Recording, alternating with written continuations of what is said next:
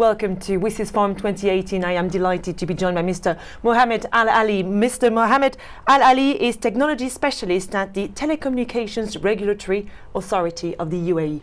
Thank you for being with us today. Thank you. So you were a WSIS champion this year. Congratulations. Thank you. Thank you. And you have been involved in developing an e-employment platform for which you've been awarded uh, the prize. What can you tell us about it? Uh, it's, uh, it's a project we called it Our Future.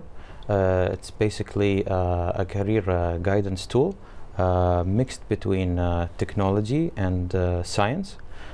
to it mainly focus on the students who's going to graduate from high school and it takes them into a journey through virtual reality uh, where in the beginning they will do a psychometric test and then a skills test and after that it will generate for them uh, a small report telling them where are their strengths and weaknesses and after that uh, it will uh, also based on their answers uh, will tell them what kind of jobs they should pursue and try to have based on those answers. Um, and after that those students will be able to experience these jobs as well. For example let's take an architect job. Uh, the student can uh, wear uh, the virtual reality device and experience how architects usually work um, the the work environment, the office, how, how they are drawing their designs, and how they are assemble the rooms in the building, and all of these things that's related to architect. And after that, uh, the uh, the student uh, will have uh, full knowledge of this job and whether he want to actually uh, pursue this and study this and try to be an architect or not.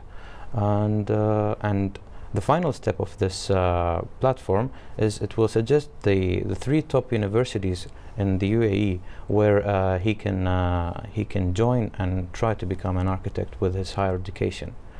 And uh, currently, uh, this platform has been uh, deployed in most of the schools in the United Arab Emirates, and more than 2,500 students has tried this platform, and they are happily fully aware of what kind of uh, job they want to pursue now instead of just being wondering and thinking whether I should go with this or that.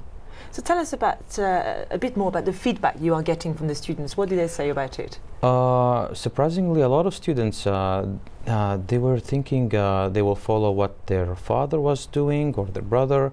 However, they did not look uh, from the inside what they real want, what they really want to do.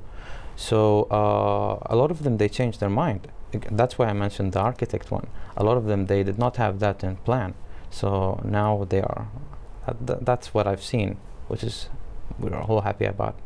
And it's all part of the UAE's efforts to create a real digital economy and society, isn't true, it? True. Yeah, that's that's true. Okay, so um, I believe it's your first time at WSIS Forum, isn't it? Yes, it is. How are you finding it so far? So exciting! So exciting to see a lot of uh, people here and get all of these kind of experiences. Yeah, have you been able to maybe learn about new technologies or uh, new processes here? Yeah, I've, I've, I've seen a lot of uh, talk about AI and I've seen uh, some people talk about blockchain, which is kind of exciting here.